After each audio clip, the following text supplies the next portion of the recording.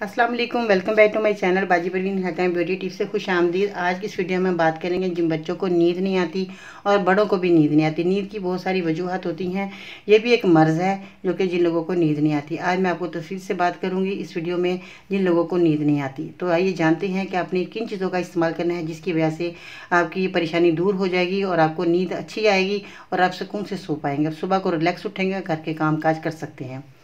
मज़ीद ऐसी मालूमती वीडियोस देखने के लिए हमारे YouTube channel Baji Parveen health and beauty tips को सब्सक्राइब कीजिए और बेल आइकन को लाजमी प्रेस कीजिए। सबसे पहले तो मैं ये कहना चाहूँगी कि नींद जो है हमारे लिए बहुत ज़रूरी है और जिन लोगों को नींद नहीं आती तो वो रात को मीठा दूध, जैसे आप देख रहे हैं मेरे सामने ये दूध रखा है और आप लोग भी देख रहे हैं, दूध खालस होना बहुत ज़रूरी है। दूध के अंदर अगर आप मिश्री डालकर पकाकर दूध को पी लेते हैं तो ये आपके लिए बहुत मुफीद है।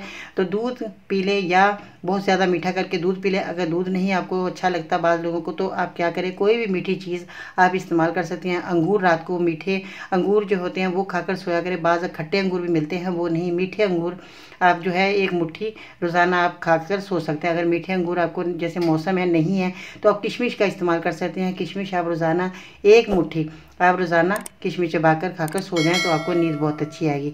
कोई भी मीठा आप खाकर सो सकते हैं। अगर किशमिश भी आपके पास नहीं मौजूद तो गुड़ है घर के अंदर, वो आप इस्तेमाल करें, गुड़ खाकर सो जाया करें। तो मीठी चीज़ खानी है आपने तो आपको नींद अच्छी आएगी। अब आते हैं नुस्खे की तरफ़ के, आपने किन चीज़ों का आपने इस्तेमाल करना है, दूध का आपने इस्तेमाल करना है और कद्दू के बीज। कद्दू के बीज आप देख रहे हैं, इस तरह के होंगे। कद्दू के बीज आप ले सकते हैं। अगर आपके घर में कद्दू आता है, आप सालन बनाते हैं तो उसके बीज आप सुखा कर हासिल कर सकते हैं। नहीं तो पंसार की दुकान से ही आसानी से आपको मिल जाएँगे। कद्दू के बीज इस तरह के होंगे, ठीक है जी?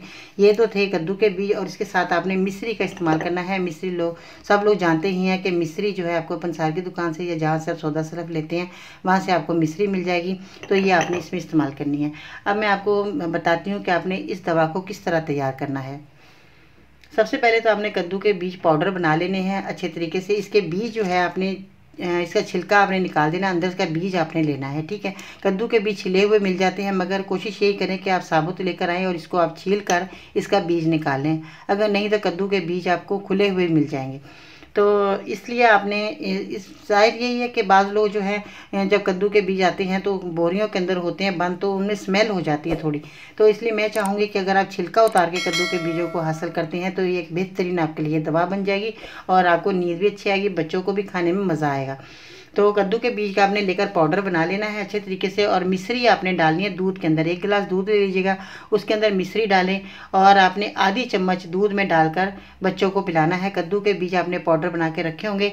आधी चम्मच आप लें और मिश्री डालकर आपने दूध को पका लिया। उसके बाद आपने इसको अच्छे तरीके से कद्दू के बीज को मिलाना है और बच्चों को पिला देना है। बच्चे हों या बड़े हों, बड़े ज़रा यह है कि एक चम्मच ले लें, छोटे बच्चे हैं, आधी चम्मच। तो दूध में डालकर आप पिलाएँ। रात को सोते वक्त आपने ज़रूर पिलाना है, नींद अच्छी आएगी और आपका मर्ज़ भी ख़त्म हो जाएगा। ये तो था एक बहुत ही मफी नुस्खा और बहुत ही कारावा जिन लोगों ने इस्तेमाल किया उनको बहुत फ़ायदा हुआ। आप लोग भी अपने मरीज़ को घर में बैठ कर दे सकते हैं। अगर छोटे बच्चे हैं, बहुत ज़्यादा तंग कर रहे हैं तो आप उसी तरह ये नुस्खा बनाएँ, ताज़ा बनाएँ, उसी में बनाकर आप बच्चे को दें। बड़ों को भी दे सकते हैं, अगर बच्चे, बड़े सारी रात, जैसे आधी रात गुजर गई, नींद नहीं आ रही तो इस नुस्खे को उसी वक्त बनाकर आप दे सकते हैं। आसान है, इसका पाउडर बनाकर आप रख सकते हैं। तो इसके ख़राब होने वाली कोई चीज़ ही नहीं है कि ये ख़राब हो जाएगी। तो इसी तरह आपने इस मिश्री को पाउडर बनाकर रख लीजिएगा। मिश्री भी और दूध आपके घर में मौजूद ही है। दूध आपका खालस होना बहुत ज़रूरी है। गाय का या भैंस का दूध आप ले सकते हैं। तो दूध जो है आजकल वैसे भी बाज़ लोगों में का कहना यह है कि हमें दूध खालस नहीं मिलता। तो बाड़े में चले जाएँ, जहाँ भैंसें खड़ी होती हैं, वहाँ सामने नज़र के दूध लाएँगे तो आपको बहुत फ़ायदा होगा। और आपका जो है, पूरी बॉडी के लिए बहुत फ़ायदेमंद है, और आपका वज़न भी जो है बहुत ज़्यादा जिन लोगों का बढ़ गया है तो मलाई के बगैर अगर आप दूध पीते हैं तो आपका वज़न भी नहीं बढ़ेगा।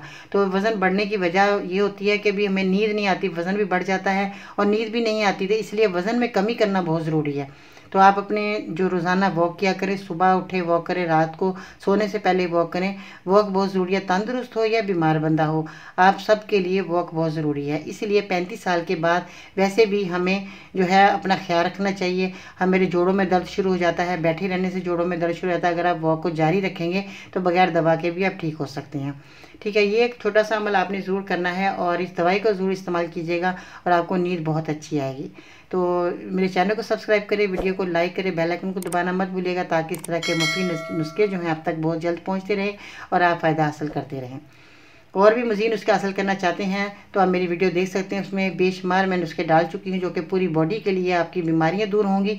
और जिन लोगों को जो भी मसला है, आप मेरे चैनल को सब्सक्राइब करा होगा। आपने तो आपको सबसे पहले मेरी वीडियो नज़र आएँगी तो आप अपनी दवाइयाँ हासिल करें और अपने नुस्खे तैयार करें और अपनी बीमारी को दूर करें।